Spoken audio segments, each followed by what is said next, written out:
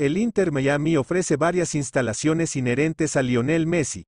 Uno de ellos es un guardaespaldas, Yacin Cheuco. Curiosamente, Cheuco se había entrenado en Bali.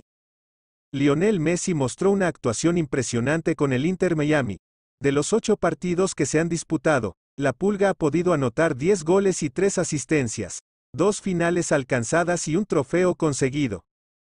La presencia de Lionel Messi en el Inter Miami ciertamente llamó más la atención del público. Messi suele ser el centro de atención y estar rodeado de mucha gente.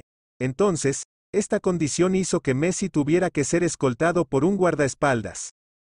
Curiosamente, el guardaespaldas también hacía guardia cuando Messi estaba en el campo.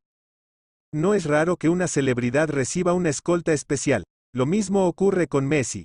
Entonces, ya sin Cheuco, quien trabajó como guardaespaldas de Messi en el Inter de Miami. La figura de Cheuco no es misteriosa. Tiene una cuenta de redes sociales con muchos seguidores y es bastante popular. Se sabe que Cheuco fue parte del ejército estadounidense o soldados del ejército de los Estados Unidos. Aparte de eso, Cheuco también ha participado en las guerras de Irak y Afganistán con los marines de Estados Unidos o USMC. Este trasfondo hace que Cheuco tenga muchas habilidades especiales.